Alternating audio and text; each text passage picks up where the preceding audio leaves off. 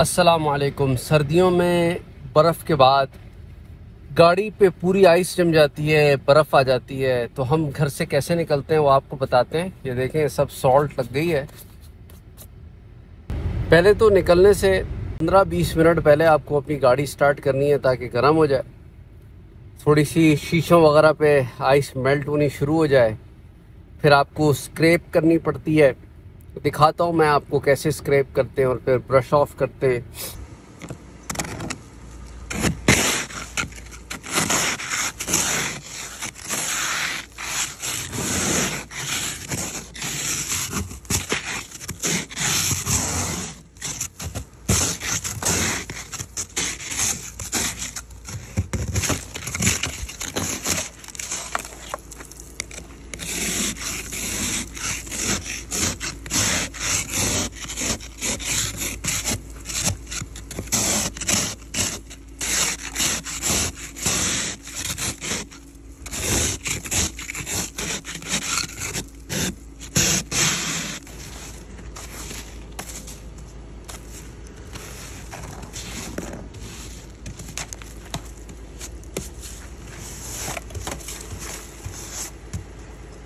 और ये उस सूरत में कि गाड़ी के अतराफ़ भी अगर स्नो है तो पहले गाड़ी के अतराफ़ की स्नो शवल करनी पड़ती है ताकि गाड़ी फंसे ना।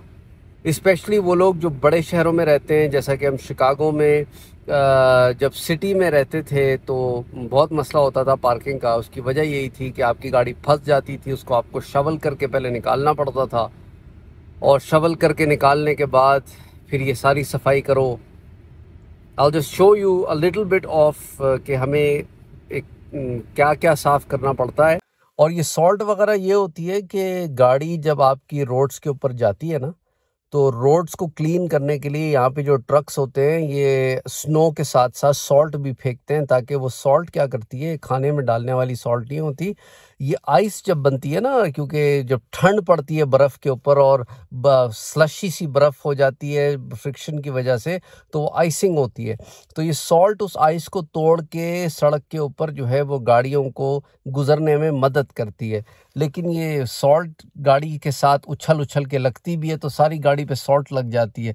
इसको जाके फिर हमें जिन जिन दिनों में स्नो पड़ती है और सॉल्टिंग होती है तो फिर ये गाड़ी धुलानी पड़ती है। अगर गाड़ी ना धुलाएँ तो ये सॉल्ट जो है, ये गाड़ी के बॉडी को खाना शुरू कर देती है।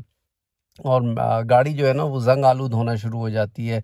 तो इसलिए स्नो के बाद जो है, वो गाड़ी धुलाना भी ज़रूरी होता है।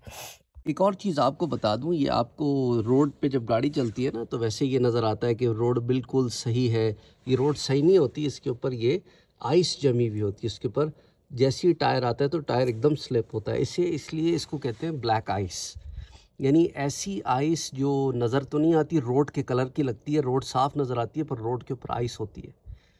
तो इसके अंदर गाड़ी बहुत संभल के चलानी होती है। आपको और वरना गाड़ी बिल्कुल फिसलती है और एक्सीडेंट्स बहुत ज़्यादा होते हैं। अल्लाह महफूज रखे, अल्लाह सब की हिफाजत करे। इस आइस के ऊपर अगर आप रेगुलर जूतों से चलेंगे तो फिसलने के चांसेस बहुत ज़्यादा होते हैं।